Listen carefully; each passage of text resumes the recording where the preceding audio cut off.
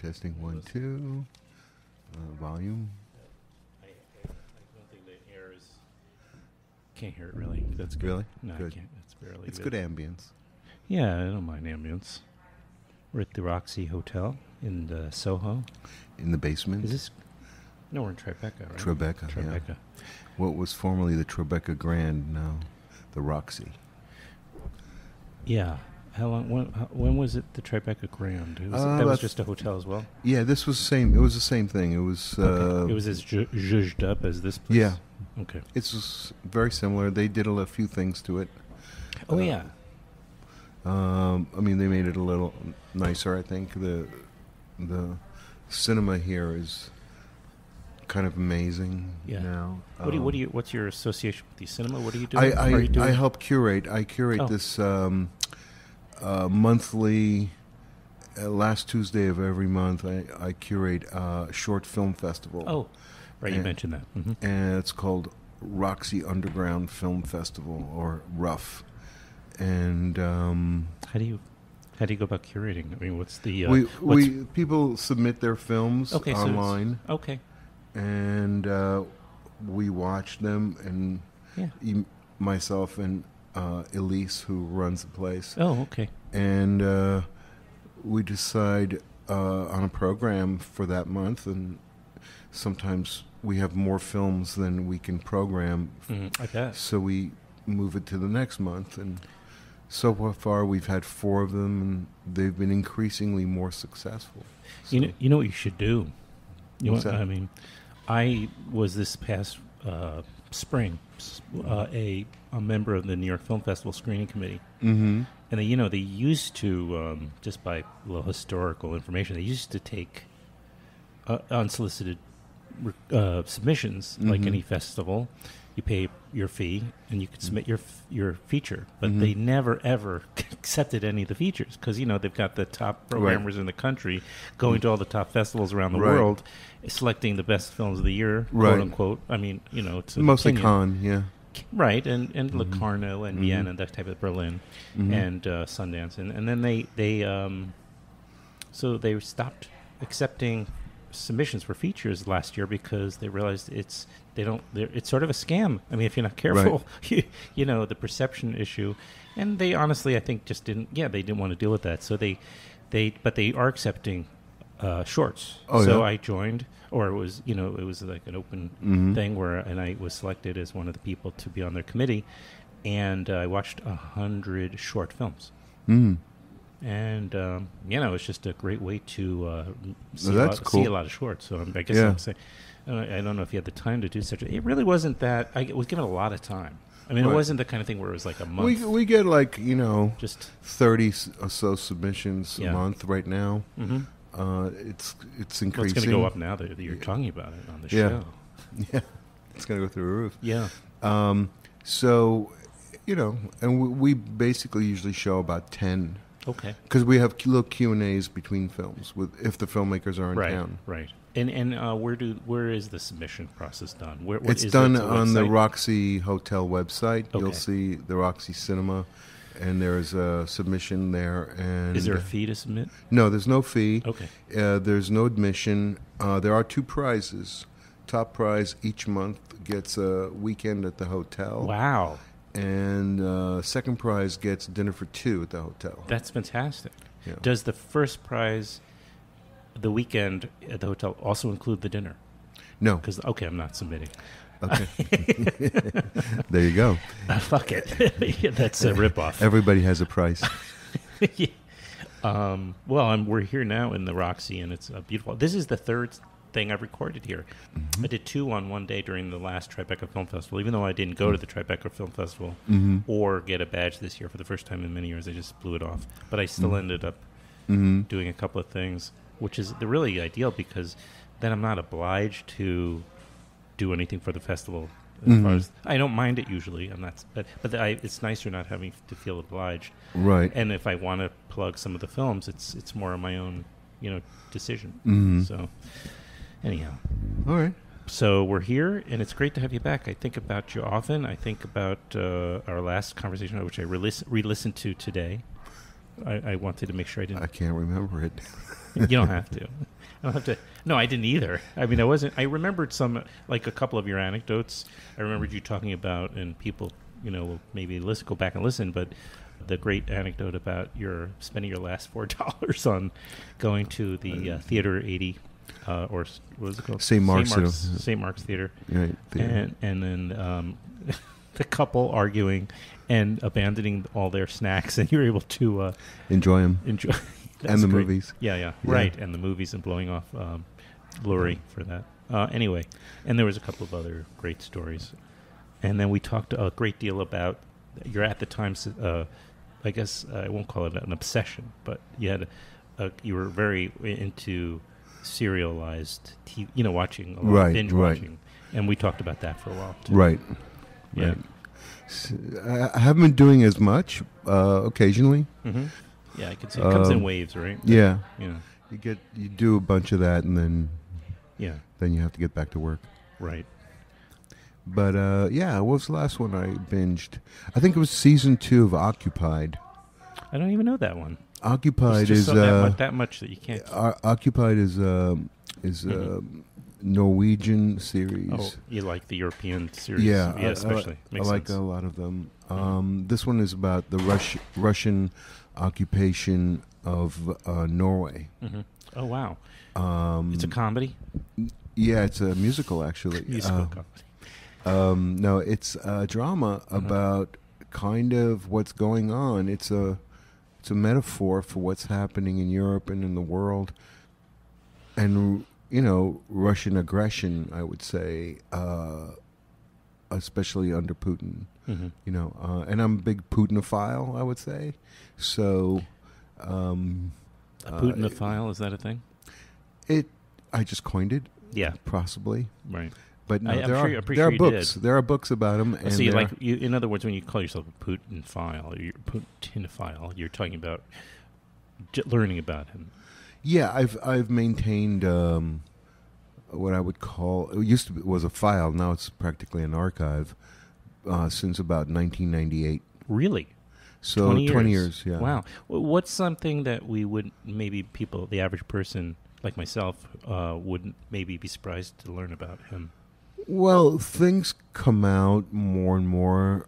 Obviously, um, there's a new book by Craig Unger that just came out Mm. called uh, "House of Putin, House of Trump." Oh, right. Yeah. which is about the sort of you know relationship business relationship that Putin and Trump have and how that's morphed into a more political relationship. Yeah. Um, well, one of the things people you know don't know about Putin, you know, he studied eco- economy, economics.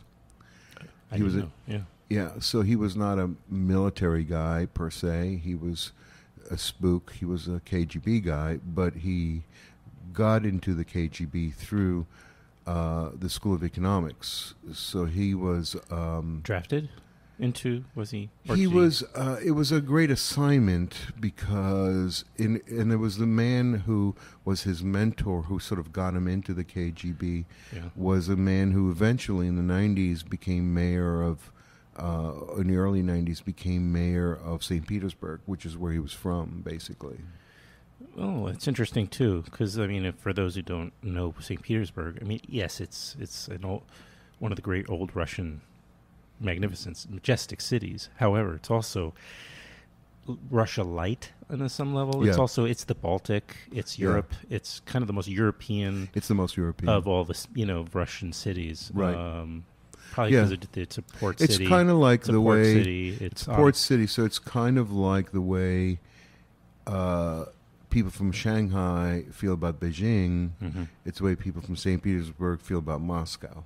They're two very different cultures. Yeah, yeah. So Shanghai is a very uh, economics-based city, uh, obviously a port, and has relations with other countries. Whereas Beijing is inland and is political city. hmm Moscow is like that to St. Petersburg. hmm So it kind of explains maybe him. It explains partly nature. why his yeah why he's the richest man in the world. He's worth roughly two hundred fifty billion dollars. Is that is he richer than Be- Bezos? Jeff Yes, Bezos? he's Yeah, he's Bezos, m- right? much richer than Bezos. He's much richer.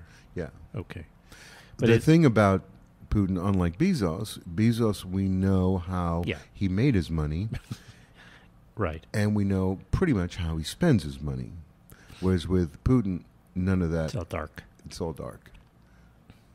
This book by Craig Unger just just came out, right? Yeah, It's very- I think weeks I saw him on um, either But- MSNBC or well, it's What- likely he was on that one of the. Yeah, he's probably probably, he's on a probably a book tour of some sort. Yeah. Um, and also, one other thing that people don't know about about Putin Mm-hmm. Yeah. is that uh, you know, and one of the things that Craig's book points out is that since the mid '80s, even before the Soviet Union collapsed, uh, a lot of Russian mafia were getting their money out of the country because they knew it was collapsing. Um, and other people got their money out of the country by laundering it in Trump condominiums in New York. I had heard that.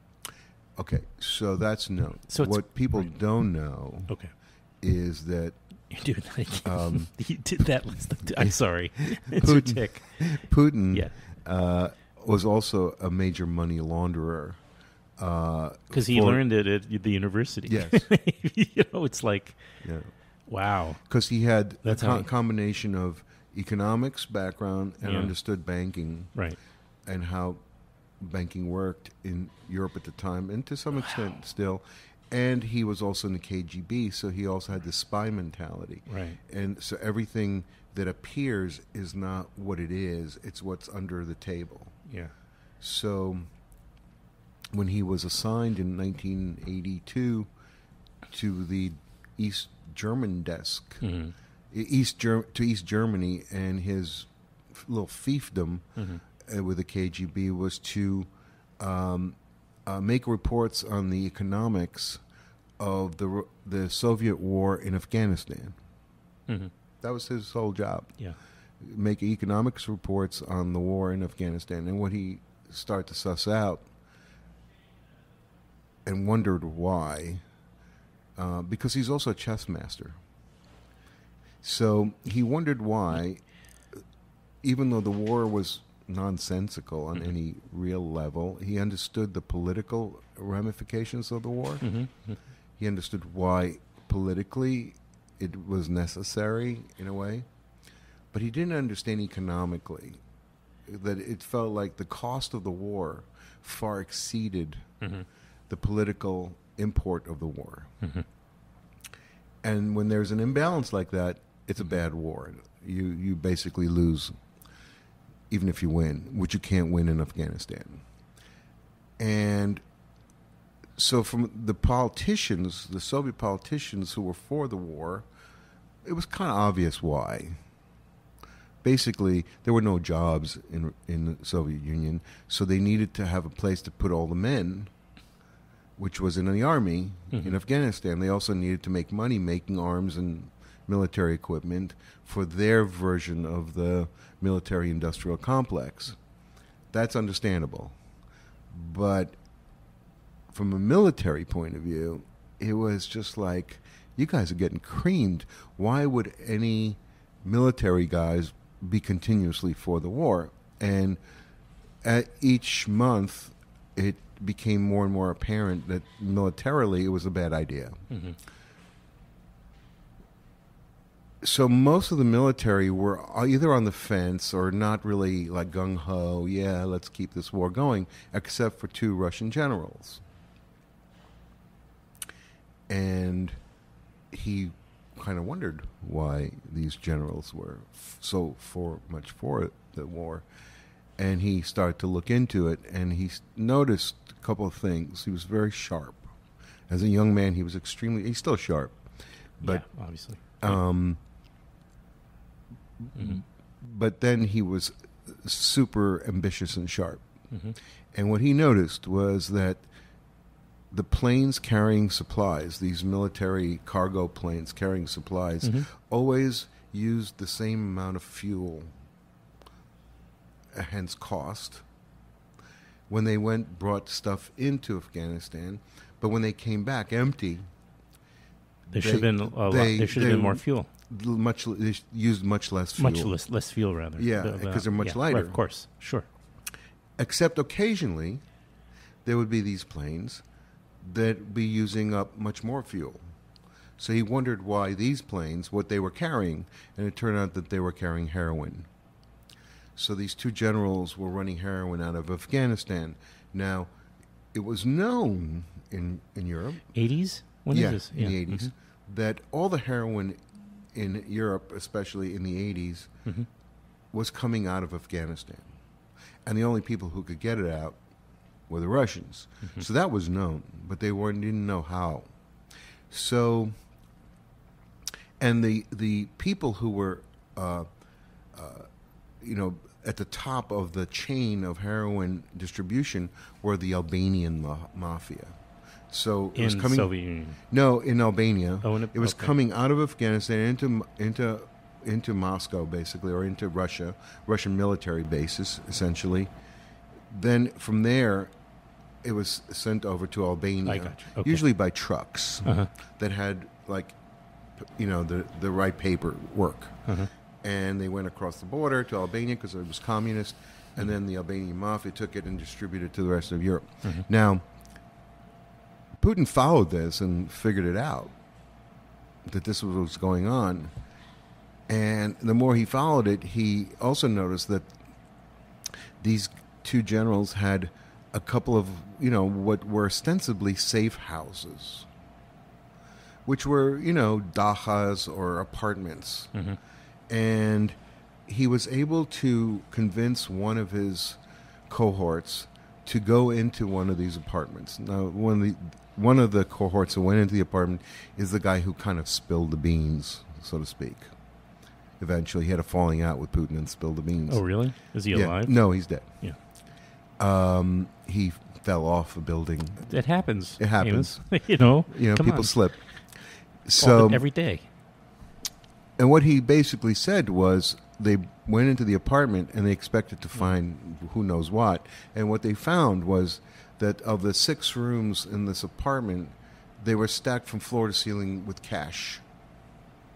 Jesus. What what what what current what currency? Uh, in those days, it was before the euro, so it was Okay. like It you know lira and Swiss francs, French Okay, francs, and right. pounds and No, dollars, right. etc. not rubles. Um, and then some rubles. what? Uh, some Albanian money, um, but every denomination you can imagine. And what Putin realized at that point was that these fellows could had the whole system rigged up, yeah, but they didn't know how to launder the cash. that's where That's where he came in. Trump. No, that's where Putin came Oh, Putin in. came in because he realized there's an opportunity here Yes, so to get he- rid of the cash out of the apartment. Right. So he went to them, to these generals, introduced himself, and they were like, "Who the fuck are you? right. Get out of our face!" And he said, "No, I can help you." And he said, "What the fuck? Who are you?" He's a low-level KGB guy. Right. He's making like two grand a month at this point, Right. and this is like 1983. And he says, "I know what your problem is. Your problem is getting rid of the cash." And they're like, Who's this? "He goes, I'm KGB. I know this shit." Yeah. I'm also an economist. I can help you launder. I can help you get the money out of your apartments, get them into Swiss banks, get you an account that you can transfer that money to anywhere in the world without anybody ever noticing one single thing. And they were kind of wary of him, but they decided to. Well, he's KGB. yeah, well, he, not only is he KGB, but who the hell is this guy Right. Right. Right. Right. No. How did? that he knows how to do this? yeah. But they were desperate enough to take a shot. hmm So they gave him a small amount of money, uh, uh, to Putin a great amount of money, which was about uh, a million and a half dollars. And he said, "All right, see what you can do with this, and we, if you fuck it up, we're coming after you. hmm We kill people for a living, and we will kill you." And Putin said, "I won't fuck it up, but here's my cut: ten percent of every dollar I launder, I keep." and they were kind of like not sure, but they agreed to it because ninety percent of something is better than zero. Because the, Yeah, they the- couldn't move it at all. they couldn't just move it sitting at there collecting dust. How did the original friend, who's no longer with us, though, how how did he gain access when they? So you said Putin convinced uh, his colleague to uh, check out the get in the apartment. right. Did- So he broke in. That, Yeah, that's- they broke all in. All right, all right. they they um, uh, w- w- that guy um, uh, was not an economist. Um, he was KGB dealing Oh, with internal security. Okay, he it's- knew someone who could Yeah. knew someone who was a burglar. Right, and all this, they, of course, they have a, a lot of access to all this stuff, uh, Yeah. information and whatnot. Uh, and so you're learning this, these stories through your reading, or is it yes, through? through a variety of readings. uh, As I said, going back to 1998 when Mhm.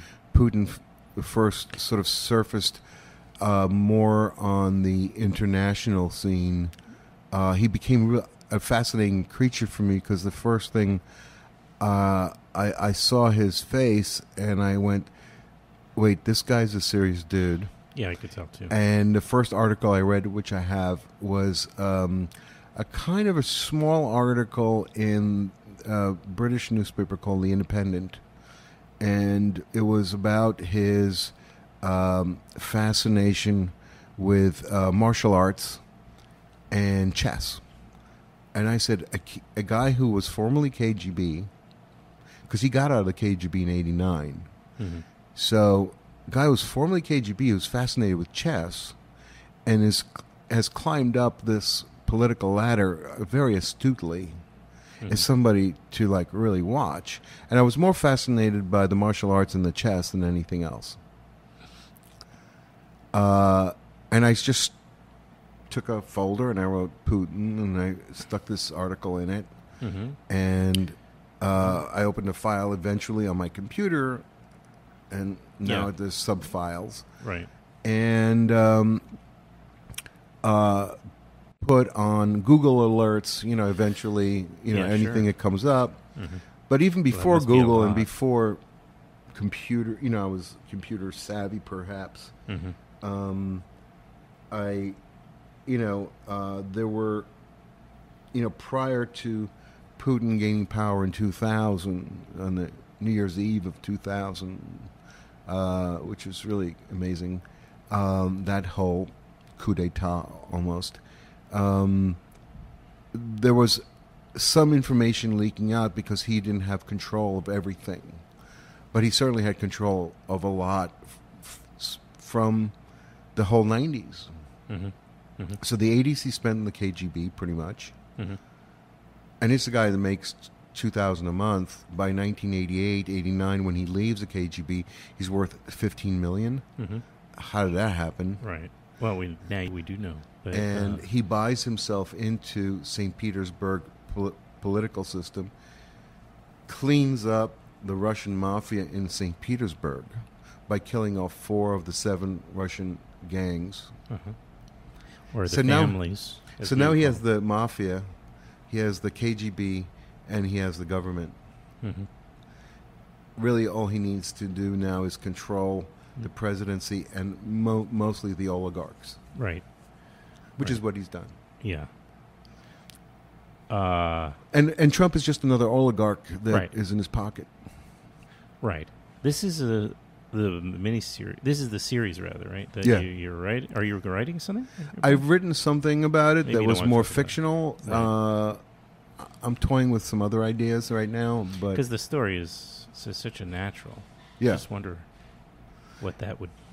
Yeah, it would. I, I mean, what it would.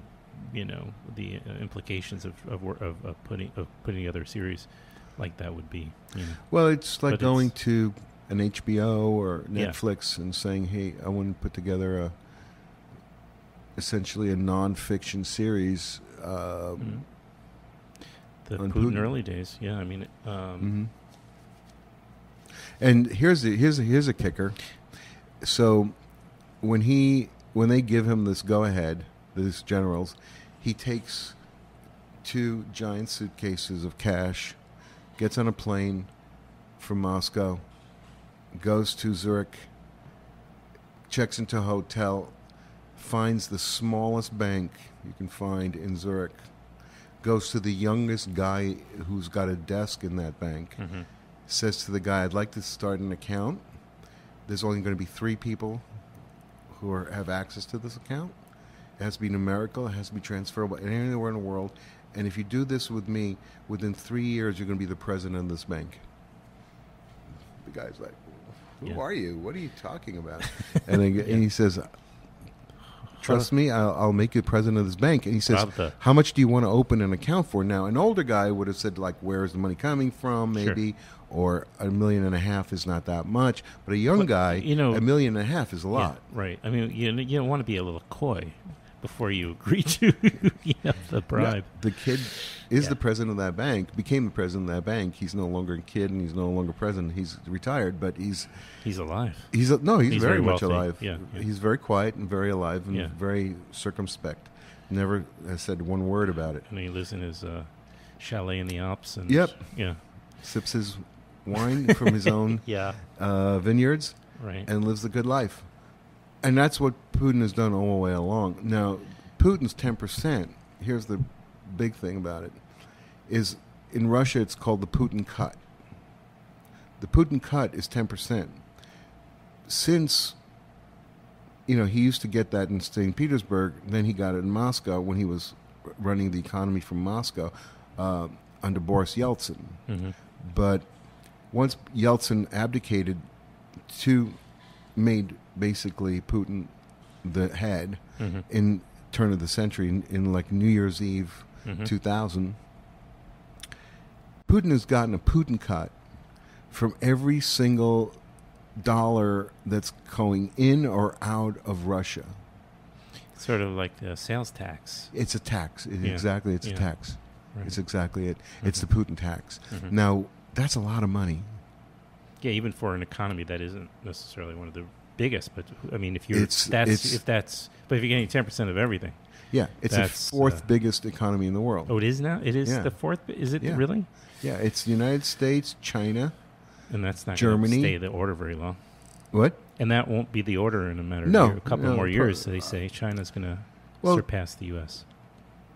Yeah, it- depends. Mhm. There, are, China has its own issues, but more than likely, yeah. hmm Um, they've certainly uh, understood economics and have run a very tight ship, Mm-hmm. where the United States has not. But the United States is more innovative overall. hmm But that could, because of our education system and stuff. But uh, there are, you know, literally hundreds of thousands of Chinese economists r- running all around China, putting it all together. hmm Um, its top students are sent to Western col- were sent to Western colleges. Now there are essentially Western colleges in China. Right.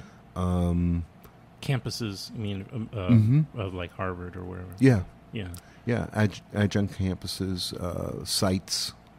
Um, but London School of Economics, uh, University of Pennsylvania's school, uh, MIT school, and Stanford school were rife, riddled with uh, Chinese students. Right. So it's so ironic because it's been in the news lately that there's uh, been uh, uh, lawsuits, you know, from Asian Americans who are being discriminated against because the the university camp, you know, the universities like Harvard, MIT are Mhm. now not accepting some Asians that are are performing and who are, you know, the top Mhm. submissions, but that they're not being Discriminated against. discriminated against because they, they can't just have a school with 90% Asians, uh, you know.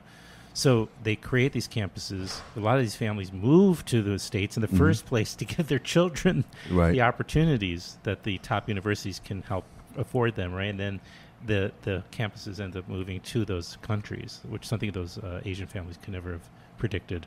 right. There's an irony to it. yeah. I mean, well, it's just crazy. primarily because the Chinese government initially, early on, Mhm. Um, if a student was incredibly bright and and ambitious, Mhm. um, and could go to a English school or a French school, Sorbonne or Harvard, uh, they would pay the fees, so they never had to get actually uh, scholarships. hmm So the uni- a lot of the universities went, oh, we don't have to pay a scholarship for this person. Now let's bring him in because at the first they wanted to bring up you know diversity. They wanted to bring up the Asian population in the school hmm and show, oh, look, we have Right. Yeah. a good amount of Asians, but it actually, you know, some schools it Mhm. went too high, and now there's that reverse discrimination. Yeah. But by now, the Chinese government has actually built schools for Harvard or yeah. right. Sorbonne or Yeah. in you know whether it's Beijing, which is the political capital, or Sh- Shanghai. Which I wonder if it's good for academia because I mean it, it, it it's good for academics. I mean because you know there's so few jobs available for people that are graduating with their degree with the, you know with the intention of being an academic. There's so few jobs in the states that now maybe there's an opportunity in these other countries. Well, in China, I don't know if it's happening in other countries, but if it succeeds there, maybe that's the way to. I don't well, know. the bigger picture is Other- historically that it's a it's more of a question, I think, of globalism versus nationalism. Mhm. So the sort of Trumpian, you Mhm. know, Mhm. make America great, all that stuff, make China great, make Russia great, all that kind of nonsense Mhm. that's being touted by Xi or Putin or Trump or, you know, uh, the Hungarian, um, you know, guy or Uh-huh. Polish guy. You know, it's happening all over the world. Um, that's a, uh, a kind of an echo from the last century, and in the last century, especially the major Second World War, proved that nationalism is actually not viable. Mhm. The problem has been is how to get to gl- true globalism, and history is moving in that direction, whether you want to or not. Globalism. Right. Uh, I mean, it's just been the tide of history has gone from these tribes to these villages to these towns to these nation states to these nations Mhm. nationalism you know along with energy basically you know, coal to oil hmm Right. now it's the end of oil uh, fossil fuel era so it's going to the next state and then Coal. yeah, right. Just kidding. clean coal Clean coal. yeah. Uh, That what was the third nation uh, that you mentioned? Uh, U.S., China, and the fourth being Russia. You said was that the U.K. No. no What's germany? Germany. Oh, that makes sense. Yeah. So Germany essentially runs the Always European keep them in the top. Is my my perspective. economy is predicated on Keep German economics. Yeah. Um, Russia is trying to get into the Middle East, which they've gotten into now. They've made deals with the Saudis and this, you know, what's ever left of Syria and Iraq, which is nothing. And they want, you know, Europe. Mhm. That's the battle. China has gotten Africa and Southeast Asia and you know Korea essentially, and maybe Japan they'll get. So they want the Pacific Rim. The problem for the United States has been that you know our natural way to go is really to unite with Canada and Mexico rather than a president who is messing Right. around with our two Yeah. border It's- partners. right. Um, so, Did you know, kind of what the European Union did with the euro. I always thought that the Amer- Mm-hmm. Americans, really to strengthen America, Hmm. let's say, or Part of NAFTA make a, a Is cur- common to- currency. yeah, called the Amerigo. Well, you may Which want to would go be- peso instead, but Well, Mexico. not the dollar, not the Yeah. Canadian dollar, not the peso, not you know other currencies, but the Americo, which is like the euro, and it would be from Canada all the way down to Chile. oh, including Central America, and- Central America and South and America. South Americas too. Yeah, the, all the Americas, South, Central, North, uh-huh. into one currency, no tariffs, hmm no borders economically. You could build a road from the tip of Argentina and Chile Yeah, all the way to the you top can of walk. Canada. Yeah. And everything would flow back and forth in one. Mhm. Now, that would strengthen our economy tremendously it would like make it like maybe six times bigger. It sounds so corporate. What? It sounds so corporate. What's the world is going? You know, it's like it's like the corporations that are that have merged. You know, and Yeah, you know, well, it's a similar idea. it- that's that- economics. I Yeah. mean, so prior to going from nations Mhm. To globalism, there's an intermediate step which Europe has tried, and that's called continentalism. Mhm. So continents forge Mhm. before glo- the whole globe forges. These continents forge, and then the four continents, essentially the five continents, actually Mm-hmm. combine. Yeah. Interesting. Not to go to some sort of, uh, I don't know, uh, much more sort of uh, Mundane. mundane. Well, it's not mundane, uh, just or just shallow. It's- Oh, shallow. I love just Caught. I've caught. A, I just caught. I've been finally caught up with the Americans, which you Oh. were, I was thinking of as you Right. described. yeah, that was a good because it takes place in the '80s. You know, Yeah. it's it's uh, it's kind of about Af- a little bit about Afghanistan and the Mhm. war with Russia. You know, Russia. Uh, so the breakdown of the Soviet Union. They, I know. I mean, I'm in the fifth of six seasons. oh, I've been kind of going. They're sixth very season is short. great. Oh, good. Because uh, I'm wondering how they're going to resolve it. uh, My ex-wife was actually the mother of my son. Is, was in the sh- uh, one of the arcs, oh yeah. one of the show's arcs in the second and third season Oh yeah. Which one? she there was a character that was working for one of the companies that they were trying to breach and she gets she, she meets a dastardly end she gets killed she, her husband was abusive and they were alcoholics both uh, she was an alcoholic hmm african american Uh-huh. character she was an alcoholic she meets uh, what's the wife's name i can't remember Oh, forget. Keri Russell. Keri Russell's character Right. she goes to the meeting and creates a Right. friendship with with Oh the- yeah, yeah. I remember. and then right, right. she gains access to the security. What is it? It's like some sort of. Oh yeah. Trying to remember that. Uh, it's a no. It's government Bio. biotechnology. Cur- yeah. yeah. like kind of firm, Uh huh. and they become friends, and then Right. she ends up, you know, killing her Right, with a right. vase or something Right. because she refuses. She's going to go tell the cops that she got, you know, information, all that Right. stuff. So Keri Russell kills her. Yeah, Keri Russell killed a lot of people. Yeah, a lot. Oh, she- yeah, she's about to kill more. Okay, I'm sure.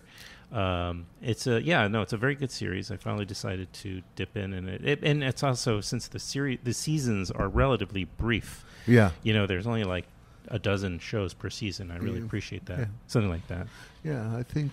So I think. yeah, I, I've, I've yeah. been enjoying somewhere it. between eight and twelve. Yeah. I think it's I think it's no no I think it's uh, each season's like twelve or 12, thirteen really? Yeah, yeah. really. And um, Oh, so I'm very I'm on the sixth. Mm-hmm. and uh, and you know it does move brief quickly, briskly Mhm. through the seasons, um, and uh, you know it's an interesting show. Um, Yeah, it is. how they're portraying.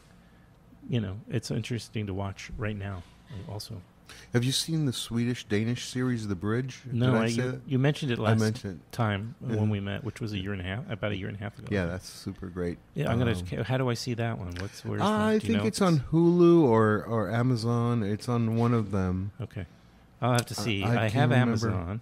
I don't have Hulu. Uh, I can't remember which one it was on. It might be Amazon, but just check out the bridge. But they've made It's a, A couple uh, of remakes. Scandinavian. yeah, it's the Danish Swedish version because I think they've Oh. made one in America Okay. and one in England, I believe. Um, and I think that one was called the Tunnel. Oh, But uh, it's the, The bridge and tunnel. Well, I, I like I, I, I like you. I, I like although I, I've, I've seen some of the British stuff too. Obviously, like uh, Helen uh, Helen uh, uh, what was this the Mirren. Helen Mirren series, that- which- is many years old, uh, Uh-huh. but they it was about you know where she's the uh, head of the Oh, right. police Um, department. right. Uh, but I like a lot of the Scandinavian productions. yeah, uh, this and- this and one is Skarsgård, particularly beautifully Yeah. shot. They they do that. They shoot beautifully. But the main thing is the female cop character, the Swedish cop, hmm is like one of the best written and and performed uh, roles I've seen in the last twenty years. Oh wow, yeah. You you were you were talking about it last time. Yeah, I might have to borrow your login for. No, I can't see this on because I don't. It's one of the only um, you know streaming services I don't either have. You you'll you'll find it. I, I, Yeah. I'm not sure what it is exactly anymore, but Mhm. um, but yeah, there's a few uh, foreign ones that, um, and yeah, and the and the Scandinavian ones tend to be shot and edited, and the music Yeah. and all that very well. And the they tend to, Yeah. uh, like even like the girl with the dragon tattoo, the original one. Yes. Yeah. Not the David Fincher one, but Right. it was very, very well done. Yeah. I thought. Yeah, I, I did too. Uh, yeah, I, I think this was this this Stellan Skarsgård Mhm. starred in a um, Yes. sh- in a series. Uh, it's on, I believe it's on Netflix, Yeah, that was good. which I enjoyed. I thought was it, kind of limited, had a little yeah, bit. it was like six episodes, yeah. where his partner, hmm uh, he's a cop, and his Right. partner Is dead. is yeah. Well, you don't know it until a little bit in, right? Yeah. Uh, but and he sees dead people essentially. you know, Yeah, yeah. it's kind of a, a corny thing, but they they pull it off real well, and it's Yeah. due to the just how well the production and the level of acting, and Mhm. s- you know his dance at the end uh, is a little bit um, corny. Yeah, ending. w- it I thought the ending was a little corny for.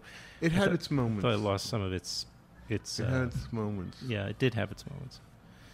But I, I just find myself really enjoying those productions. Anyway, wow, that's so so impressive that you're you have this whole uh, focus. Uh, I hesitate to call it again an obsession, but it's. Uh, I think you Mhm. really need to do something with that. And you you know you, it's an international cast, which would help marketing it to an international audience. I think you can get international distribution.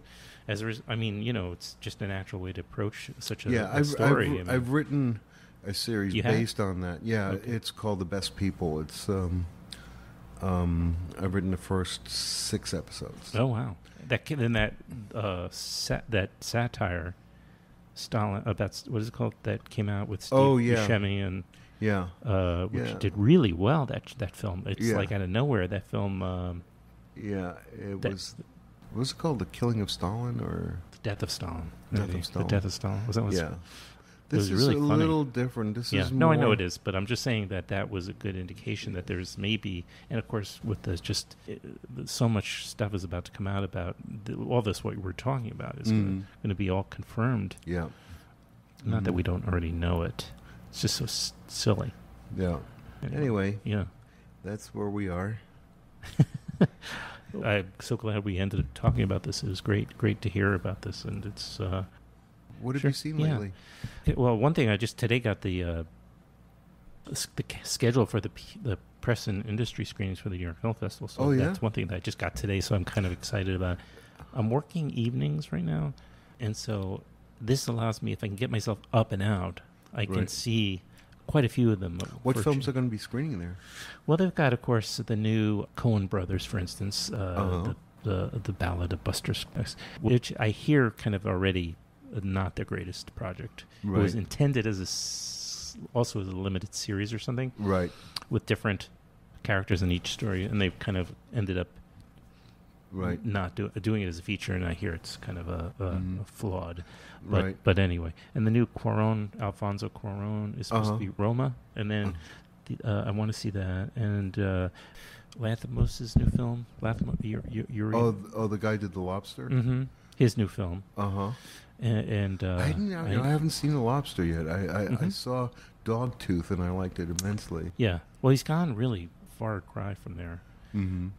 Yeah, no, I'm looking forward to it, and you know, Komida, what's his, the Japanese filmmaker? They're, they're, there's, you know, they have their favorites, and they, Mm-hmm. Yeah, they, they do. They really just, I mean, every time, and and there's a new, um, what's the German filmmaker? I, I've seen all of his films. He's really, oh, Christian Petzold. He's a one Mhm. of these guys. They just constantly every film, right. uh, and you know that they they bring it back.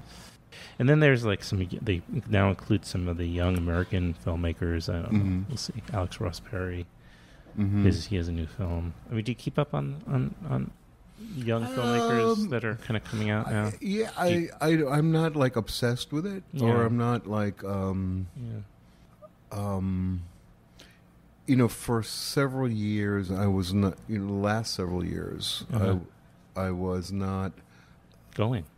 well, I'm not going to as many films Mm-hmm. because I think primarily the, the hour and a half, two hour, Form. uh, you know, form Yeah, yeah. just didn't make sense to me. It didn't feel right. Mm-hmm.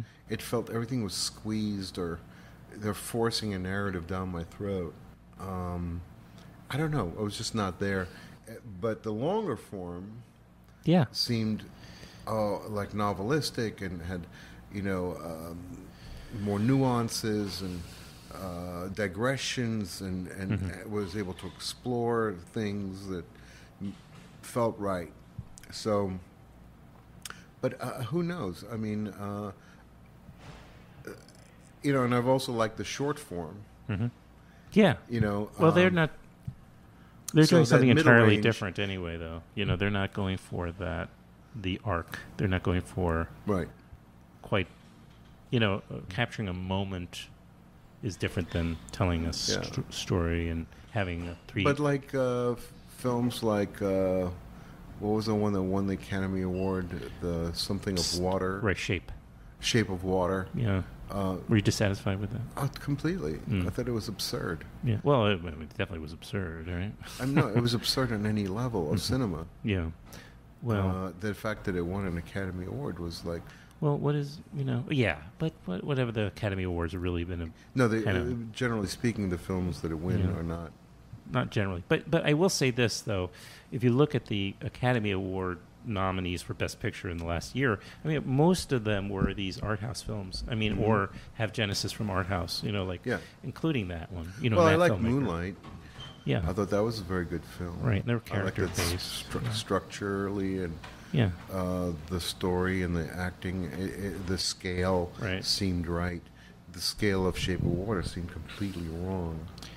right. Um, then there Uh, was. Uh, I mean, I don't know. It's been it's been a few years since Yeah. films just really. Now that doesn't. There are films that when I go see them, they Mhm. would go, "Wow, that was really good." Yeah, I, I, I saw um, a couple of times. I've gone. Out, I try to get trying to get out to see some screening. Like I, uh, the um, it's not easy all the time because it really requires a lot of my time. It's like a four-hour Yeah. commitment, you know, which is you know it doesn't sound like a lot to people, but I took my son to see eight. You know, I saw it on the Mhm. the, the uh, here down at the Roxy Theater Mhm. at the Roxy Hotel, eighth grade. I saw it at the BAM Cinema Fest. Uh-huh. Um, you know, Bo Burnham is the director. I He's heard a that was a good comedian. film. It's really beautiful, and uh, I loved it so much. And I, my son just graduated the eighth grade last, you know, Mhm. spring, and so I asked him, "You want to see?" th-" I showed him the trailer. I said, "I just interviewed, you know, these guys, and I the, the movie's very beautiful. Would you?" And he says, "Yeah, let's. I'll see it." So I, I have an inside guy at the uh, the Alamo Drafthouse in Brooklyn. So I Mhm. contacted him, and he got us tickets. Not that I wouldn't have spent the money on it, but it's nice. Uh, And then we can buy lunch there, and, Right. and so we had a great time. And he loved, he really liked the movie, and it was a really personal story from this young eighth grader girl who's very mhm. un, um, n- in, not confident uh, young girl who's struggling, who has a Mhm. single dad, played by uh, Josh Hamilton, great actor. Mhm. Uh, anyway, so I, I saw that. I really love love that movie. I got to see Ethan Hawke's film. It's called Blaze. I'm about about, to go see it Oh. in 20 Oh, minutes. you're going to see Blaze. I, Mhm. let's talk after because I'm curious Yeah. to know. What, I, I I really liked it. I mean, Oh, it's good. very very. It's flawed in some ways, but the flaws are, are there's certain films that are kind Mhm. of sprawly, messy a little bit because they're just, but they're going for things that are very positive, and he it definitely takes you to a There's place another and a time. film people talked a lot about a Yeah. couple years ago with um, uh, what's that actor? Uh, his brother is a famous actor. Casey yeah, Affleck. Casey Affleck. Casey. What was that film with Kate in Boston? Uh, wait, the well, they, there was a few, I think. Um, uh, where he played this guy who is kind of down and out. oh yeah, yeah, Manchester by the Sea. Manchester. Manchester by by the Manchester by the Sea. Um, Right.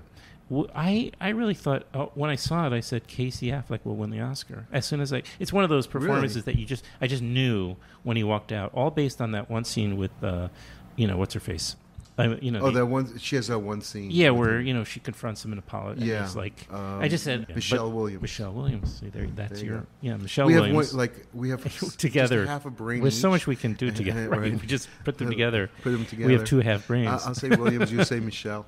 Um, yeah. Well, that was an okay Don't- I scene. liked it. I liked the movie. What was it about that put you off? Did I you just, think it was unbelievable? his characterization, Mhm. and I thought the writing was pretentious as oh, hell. okay. Okay. And I thought his mopey kind of like I'm an actor, watch my ticks Oh, I see. kind of thing was Interesting. just like I'd have to watch it again. I was moved at the time, but I'm Um, a sucker. I have a very, um, I, I'll admit it right out that I have a um, real, just sentimental side to me. I cry a lot at movies. I was like, when- I remember when I saw that film, like it was like um, at like a screening of some sort, Mhm. and I'd read about it, a couple of articles Yeah. about it, and I, I remember un, unable to to contain my um, my dislike Uh-huh. so much that when I when the lights came on and I got up from my seat, I went, "That is the most overrated movie of the year." Interesting you say that because I remember an earlier case. It was one of those again Boston films, not a Kenneth Lonergan directed film, but it Mm. was one of those films that oh, uh, what's the guy? The is an author and he writes all the. He's written all those Boston Mm. movies like. Uh, the Clint Eastwood one that he directed with the with the with the, uh, you know just all these um, Mhm. Boston-based. I, I can usually pull the names, but I'm Hmm. not in that space right now. But anyway, and I the just Boston remember- Strangler. no, but he, no, no. It's just a bunch of different Mm. t- these stories coming out of Boston from a Boston author, based author, Mhm. and the Afflecks are usually in them because they're from Boston. You know. Mhm. Anyway, the I just remember s- afterwards getting up, and I think David Denby was sitting behind me, and I was just like, I, couldn't believe how overwrought, how Mhm. just annoying the movie was. And I'm standing in the elevator lobby, and he was just, or just talking how great it was, and I'm like, there, all the critics are going to just give it these great reviews, and it's really Yeah. just not good. I just, Yeah. I just thought, I didn't have that reaction to Manchester by the Sea, but again, I just, those kinds of stories of, you Yeah, know, it was like of- so inauthentic. It was Yeah. so pretentious. I felt it really kind of soured me to Mm.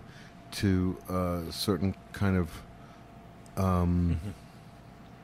you know what people think is good is really Yeah. questionable I- in my mind, and I've been wrong. So I, c- you know, Yeah. and- but well, I will also mention I I did go see also a new uh, documentary. It's called Three Identical Strangers.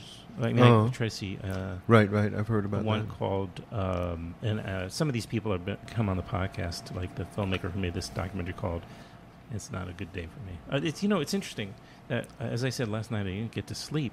I have Mhm. no doubt it's affecting Right. my brain. Right. yeah. Well, it will Uh, do that. Yeah.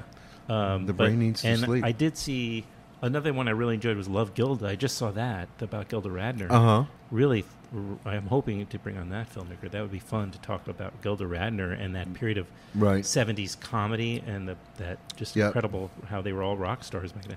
Yeah. And uh, and I'm supposed to go see.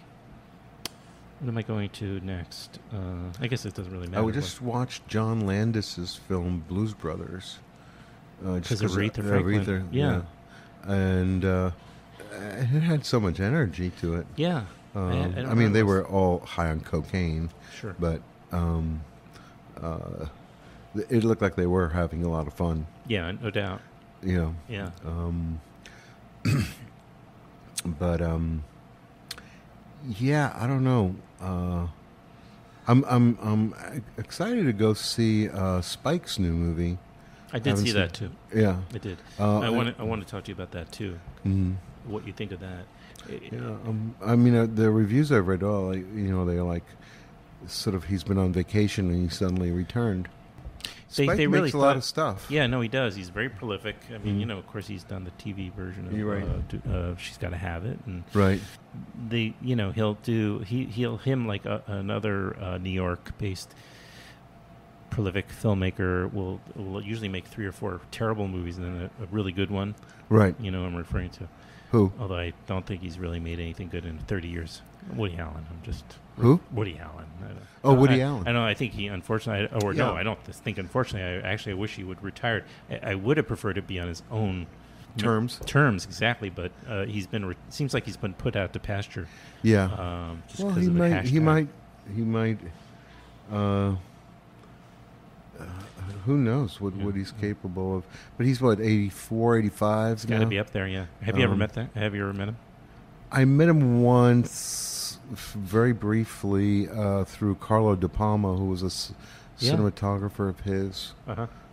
and Carlo was married to a producer at, that at the time I was working with. Um, so I met, uh, but it was just like, I know, four or five people having lunch. hmm Um, but um, I always, li- I mean, I, li- I've always liked actually Spike's and Woody's um, uh, uh, style of working, just one after the next. Yeah. But um, sometimes it's good to take a little time off just to Reboot in a way, well, creatively, just to or yeah, find because new inspirations. otherwise you're really kind of making the same movie over and right, over right. again. How do you not? How do you find new inspirations if you're just, you know, already onto the next film? Well, the problem there is is how much control you have. So you can find some different inspiration if you're only a director and have other people write your scripts. hmm So then you bring a different version of that director. That's true. Like Scorsese Yeah. will, you know, or or or or Spielberg. Yeah. Um, Oh, you know, and the, speaking of Scorsese, he's he he's directed this this author I was thinking about uh, that this Boston author with The Departed. The guy who wrote The Departed is the Boston guy I'm thinking. of. oh, you know, he's very famous uh, Oh. now novelist, and right. he but he wrote the among his Hmm. many hmm novels. That I'm, I don't mean to digress. Right. Anyway. The Departed. Right. Um, that was with Nicholson. Yeah. I'm looking forward to the new Scorsese with oh yeah, with, Pacino and De Niro. right. Yeah, that's uh, and uh, Pesci and Keitel.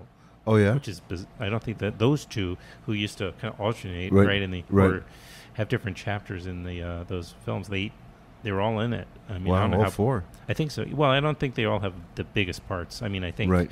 I think uh, play Pesci, De Niro, and Pacino are the big. I don't think Keitel's in it. That's like I hear he's. I think he's in it. I may be wrong.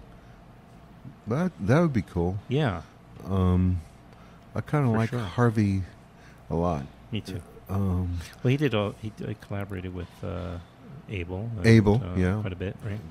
And Dafoe. uh, He oh he's playing Van Gogh, I guess, in a new movie. yeah, And that In Schnabel's movie? Schnabel. That's right, of course, the Uh-huh. Schnabel. Uh, I'm just, I, you know, I, I don't normally not a fashionista about things, but they they took this photo of Schnabel from. I, I'm guessing it was Cannes because he, he Mhm. was like on, you know, looked like he was right there on the, what's the called the the part of the Croisette. the corset or whatever. Anyway, Mhm. he he was wearing like this button down typical shirt, but the sleeves sleeveless. Sleeveless. Uh huh. I don't know. He looked just like bizarre. You know. Yeah. Well, like- that's not a Julian is bizarre. yeah. Uh, definitely bizarre. Um, But he makes good movies, Yes. and you know, among other things, he- yes. I've liked He's a good painter. He's, He's makes you know overall Mhm. really good movies. Mhm. Um, uh, especially the Butterfly movie. Yeah, that was beautiful. Uh, I thought his Basquiat movie was a very good first Yeah, uh, directorial film. he got a great performance out of Jeffrey Wright. Great casting. yeah. Unfortunately, I, the only thing I didn't like about it was the title.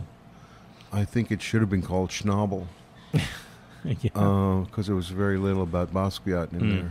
there. hmm Um, Did you see um, Sarah's uh, new documentary? Yes. The- the- Yeah. okay. She's was supposed to do the podcast. She's coming on. Uh, she, Oh, yeah? I, well, I was trying to get her, and then well, Sarah makes really interesting. she has family films. things going on with her parents, and uh, Oh, right. Go ahead. Yeah. yeah. But she makes very interesting films. Yeah. I mean, her early films are especially are really beautiful. Mhm. Um, really, really beautiful, um, and quite poetic. Um, this film, um, I think it's an interesting film. I'm glad that she made it. Mhm. Um, I'm very happy about that. I'm not sure what the heck is the point of it, but um, but at the same time, I'm, I'm happy she made it. Yeah. Well, it's a, called Boom for Real. It was out Yeah. already. No, I've seen. Magnolia distributed. Yeah, yeah. Yeah, And uh, but I'm- I'm but but um, got distribution. yeah, I'm actually kind of glad. Yeah, it's a good. It's important, you know. I'm glad to that. In a way, I'm glad that uh, it's kind of like over because she's. And then she was helping uh, her her friend, her partner, with uh, his new project apparently. Oh yeah, And then yeah, so that's why. So Mm. she said contact her after Labor Day. So I guess that Mm. that means now I can right. call her or email her. And, yeah, uh, they're probably in post production now. But she'll make some time, and then Yeah. you know what's nice is I can maybe it'll inch me closer to the, to him too because I've been wanting to get him on. Yeah, you should get Jim on. I don't know if he does a lot of these things, but Uh, he does a impression f- that he he doesn't. a fair amount. He Mhm. does. Uh, I just did uh, the last Anthony Bourdain show with him. you did. hmm Uh, just a couple of weeks before Bourdain passed away. Oh, I didn't know. Um, yeah, but um, yeah, no, he's Is that going to be um, aired? I hear there was some new material. That Yeah, I think it'll be aired. Um, I think end of this month or maybe the beginning oh, of that's soon. October. Really? Yeah, That's it was like done in. I don't know when was it like April or something. Mm-hmm. Wow, that had to be Yeah. right, right before. Yeah. Where, where, what was the, what was your, your roles in the? we, we, he just asked us a bunch of questions about drugs, Oh, really? uh, basically. But he's a, he's he was a, a real cinephile, Uh huh. Yeah, no, Tony. I know. He was a real. I've seen him at film festivals. I mean, I saw at the Hampton Film Festival last year. I might have actually. He was Yeah. a super cinephile. Yeah. He, he he watched way more movies than Jim or I, um, uh, and he would get very obsessive about particular genre or particular countries' films. Like he was at the time, he was very much enamored in the last winter, around last winter, um, of um, Indonesian kung fu movies, of which I yeah, had that's- no, that's no nuts. idea about. And he said, Yeah. "Oh, you never heard of this guy? Oh, yeah, you should see. Rattling He's off. made four movies. He, Yeah. you know, you should watch the second and the fourth one. Those are the really good ones." Yeah. I'm like, Yeah, right. But don't listen. Don't don't don't watch the this other guy's Yeah. because he's he's he's just like you know, he's a joke. He's not really so he was very, um, interesting. Didn't he? He was uh, in a relationship with Asia Argento. yeah, yeah, And- yeah, As- yeah. He was Asia- very much in a relationship. Asia, Asia, Asia Argento. Argento. He was in a relationship with Asia Argento. Yeah. Now, didn't he? Uh, and then I hear he paid off this kid. Apparently. now suing Yeah, or tried to sue, or has come out as a, which makes me feel like um, It's a bad idea. it's a Harvey Weinstein uh, folks. Yeah, but it's. I feel like it. It's. It was. I don't know. It's my. I have a little theory that, you know, I feel like uh, maybe Weinstein's people have kind of made this happen to kind of uh, compromise. Oh, As- Asia? Asia's, Asia's, uh, you know, her reputation and her. I don't know. He's gonna I, go to I jail think that regardless. There's nothing- Asia has her own whatever Yeah, sure. going on.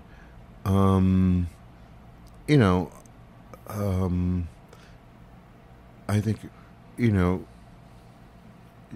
she has her own trajectory prior to Mhm. m- Sure. meeting Tony Bourdain. Mhm. Um, uh,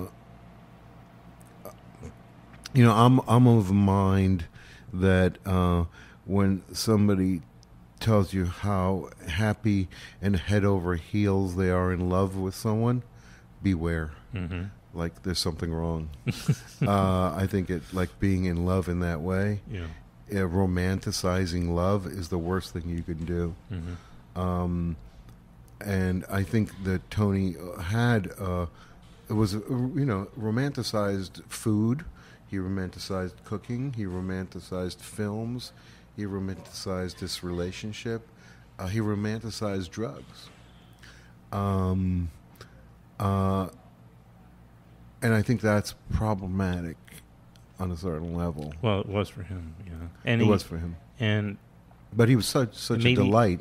You know, such a like, delightful guy that you kind of like, what the fuck, Mhm. you know. But Nobody was there. Nobody who could tell him that what you just said, maybe ineffectively. I suppose so. Do you think? Well, I didn't know him that well, so I mean, Right. I told him my version of it. you did. Yeah, I just said I I think romantic love of that sort is okay when you're 16 or 19 or maybe 23, Mhm. but after that, Yeah. it's a drug, and you know your experience with drugs. Yeah. and this is just another drug. You're on drugs, dude. And that was what I said to him. Wow. Well, you Um, were certainly. He gave you the opportunity, the the, the platform. No, he asked me about it. because, yeah, right, and because of the nature of that Yeah. uh, show, that episode, or whatever.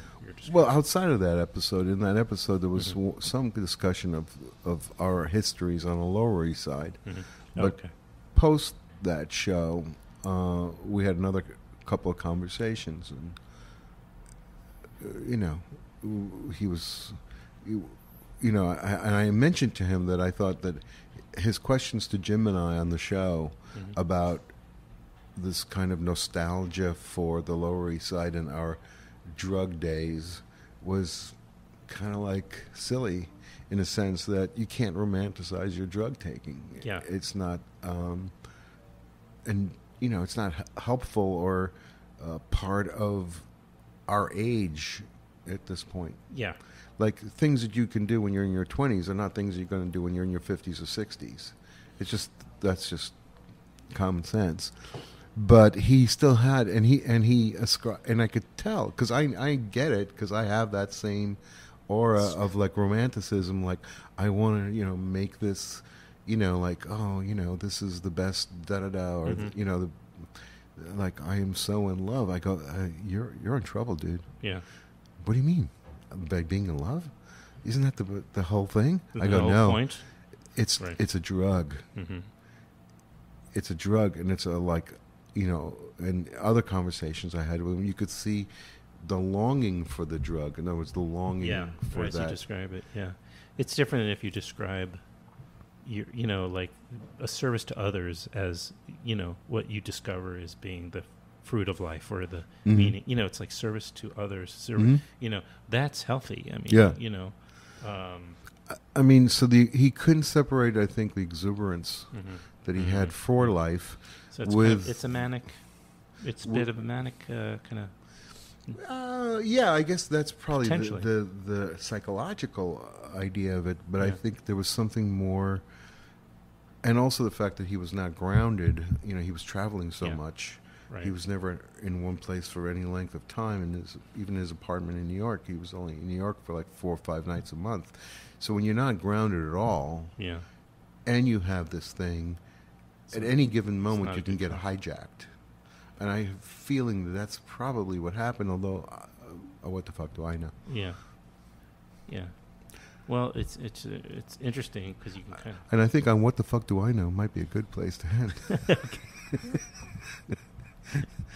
thank what you, the fuck do I know? thank you. This this is so much fun. yep, Well, let's not wait till another year and a half though. And I, mm-hmm. definitely. all right.